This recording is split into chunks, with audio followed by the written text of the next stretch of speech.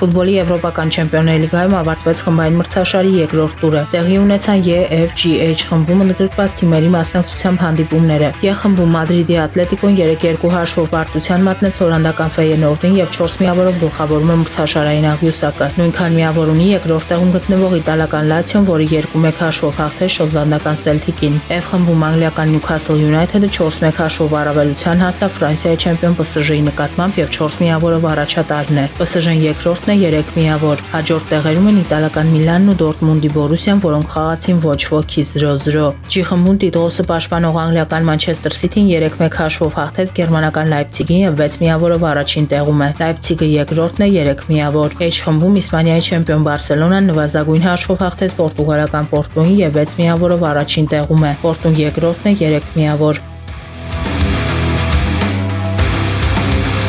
Ֆուտբոլի Ռուսաստանի գավաթի խաղարկության խմբային փուլի 5-րդ տուրում Կրասնոդարը 3-0 հաշվով հաղթեց Բարի Նիժնի Նովգորոդին։ Կրասնոդարի երկրորդ գոլը 62-րդ րոպեին խփեց Հայաստանի հավաքականի 19-ամյա պաշտպան Գյորգի Հարությունյանը։ Հայաստանի հավաքականի կիսապաշտպան Էդուարդ Պերցյանը չմասնակցեց հանդիպմանը։ Բարի Նիժնի Նովգորոդի կազմում 64-րդ րոպեին փոխարինման դուրս եկավ Հայաստանի հավաքականի հարձակվող Էդգար Սևիկյանը։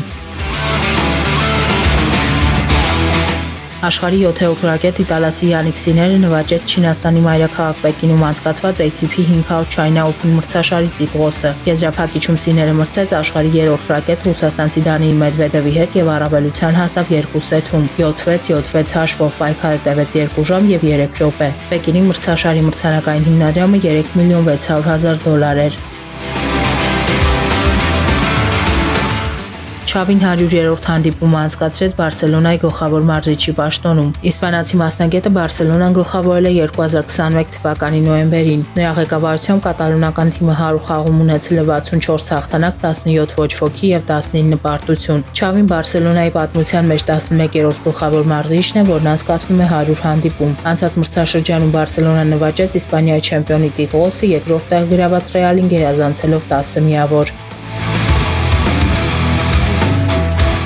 Անգլիայի չեմպիոն գավաթակիր, Չեմպիոնների լիգայի գավաթակիր, Եվրոպայի սուպեր գավաթակիր Մանչեսթեր Սիթի կատալոնացի գլխավոր մարզիչ Խոսեփ Գվարդիոլան խոսել է իր ղեկավարած թիմի նորվեգացի հարձակվող Էրլինգ Հոլանդի մասին։ Հոլանդը այս մրցաշրջանում էլ ունեցել է շատ գոլեր խփելու բազմաթիվ հնարավորություններ, սակայն հեշտ չէ իրացնել պահը, երբ Լուգանային հրապարակում 5 պաշտպանի ես դիմակայում։ Դա միայն Հոլանդի մասին չէ։ Եթե ուշադրություն դարձնենք նրա գոլային պահերին եւ խփած գոլերին, կտեսնենք, որ Հոլանդը հիմա էլ նույն խաղամակարդակն ունի, ինչ անցած մրցաշրջանում ասել է Գվարդիոլան։ Ընթացիկ մրցաշրջանում Հոլանդը Մանչեսթեր Սիթիի հետ բոլոր մրցաշարերում մասնակցել է 10 հանդիպման, խփել 8 գոլ, կատարել 2 գոլային փոխանցում։ Անցած մրցաշրջանում Հոլանդը 53 խաղում խփել էր 52 գոլ, կատարել 9 գոլային փոխանցում։